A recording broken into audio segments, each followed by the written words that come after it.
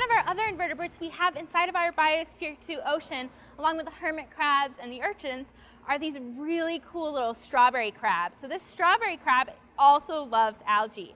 Now these guys have a really cool adaptation. So you can tell that they're bright red. Something that they have in order to kind of deal with that is they have these small little hair follicles you can barely see onto the top of its shell. Now those little follicles actually help collect algae. So you can see that it's got some green on its top.